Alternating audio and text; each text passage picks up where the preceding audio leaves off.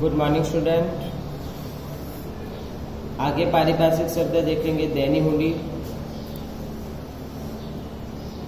तो दैनी हुंडी एक लिखित दस्तावेज़ है, जिसमें दो पक्षकार होते हैं, हुंडी लेखक और हुंडी स्वीकार करने वाला। हुंडी जो है, स्वीकार करने वाला भविष्य की निर्धारित तारीख पर निश्चित रकम चुकाने की जवाबदारी स्वीकार करता। अर्थात कि दैनी हुंडी जो है वो उसका दायित्व बनता है। हुंडी स्वीकार करने वाले के लिए वह दैनी हुंडी गिनी जाती है। मतलब कि देनदार के लिए वो दैनी हुंडी बनती है, क्योंकि देनदार जो है वो हुंडी स्वीकार करता है। इस लेखित दस्तावेज़ में हुंडी स्वीकार करने वाला निर्धारित समय पर निर्धारित रकम हुंडी लेखक को चुकाएगा ऐसा वो लिखित अपनी जवाबदारी स्वीकार करता है।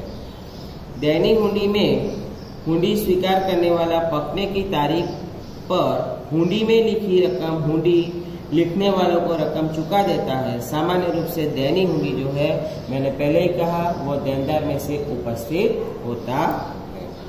उसके बाद है देवा। देवा मतलब पेबल तो व्यापारी द्वारा धंधा के व्यवहारों के कारण अन्य व्यक्ति या व्यक्तियों को कोई रकम भविष्य में चुकानी हो तो उसको देवा के रूप में पहचानते लेनदार और दैनी हुंडी की रकम का देवा में समावेश किया गया इसके अलावा अन्य देवा में अदत मजदूरी, अदत वेतन, पेशगी प्राप्त आय आदि का समावेश किया जाता है। पेशगी प्राप्त आय एक प्रकार का दायित्व गिना जाता है। इसके बाद लागत। लागत मतलब उसको इंग्लिश में कहा जाता है कॉस्ट तो कोई भी वस्तु तैयार करते हैं तो कोई भी वस्तु तैयार करने के पीछे आ, आ, करने के लिए जो भी खर्च होता है तो वो सभी खर्चों का टोटल किया जाता है योग किया जाता है तो उसको कहा जाता है लागत। इसके बाद वाउचर वाउचर मतलब के अकाउंट में जो भी व्यवहार लिखा जाता है तो व्यवहारों का समर्थन देने वाला लिखित दस्तावेज़ मतलब के वाउचर वाउचर पर से व्यवहार उधार हुआ है, व्यवहार रोकड़ हुआ है, कि व्यवहार खरीदी का है, व्यवहार बिक्री का है, अथवा तो व्यवहार बैंक का है, अथवा तो आवक का व्यवहार है, संपत्ति का व्यवहार है, दायित्व का व्यवहार है, ये सब पता चलता है। तो वाउचर जो है, वो व्यवहारों का अकाउंट में लिखा गया जो भी व्यवहार है, वो व्यवहारों का समर्थन देने वाला लिखित दस्तावेज़ मतलब वाउचर इसके बाद बट्टा। बट्टा मतलब डिस्काउंट तो खरीदी या बिक्री की रकम में से शर्तों के अधीन अमुक रकम घटाई जाती है और शुद्ध रकम चुकाई जाती है। मतलब कि धंधे के अंदर खरीदी होती है, बिक्री होती है तो उसकी जो मूल कीमत है तो मूल कीमत में से शर्तों के अधीन कुछ रकम घटाई जाती है, कुछ प्रतिशत रकम घटाई जाती है और जो शुद्ध रकम चुकाई जाती है, उसको कहा जाता है बट्टा तो ये बट्टा जो है, वो खरीदी और बिक्री के व्यवहारों में से उद्भव होता है। बट्टा के मुख्य दो प्रकार है, व्यापारी बट्टा और रोकड़ बट्टा। पहला देखा जाए तो व्यापारी बट्टा।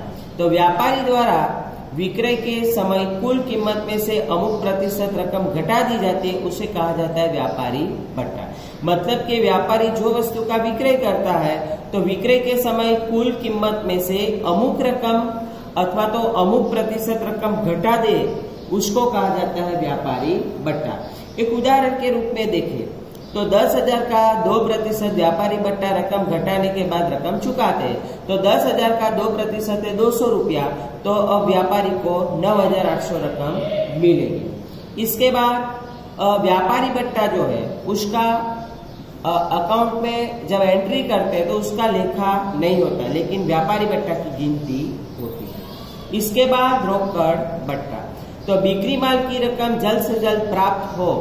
इस हेतु से ग्राहकों को आकर्षित करने के लिए मिलने योग्य रकम में से जो रकम काट दी जाती है, उसे कहा जाता है रोकड़ बट्टा। मतलब के व्यापारी जब माल की बिक्री करते हैं तो ग्राहक के पास से जल्द से जल्द रकम प्राप्त करने के लिए तो ग्राहकों को आकर्षित करने के लिए कुछ कम रकम प्राप्त करे। अथवा तो कुछ कम रकम मतलब के रकम काट दिया जाता है तो उसको कहा जाता है रोकड़ बट्टा। ऊपर के जो हमने देखा कि नौ हज़ार आठ सौ रुपया व्यापारी को मिलता। अब उसमें से व्यापारी दो सौ रुपया और बट्टा देते हैं, क्योंकि ग्राहक जल्द से जल्द रकम व्यापारी को चुका दे।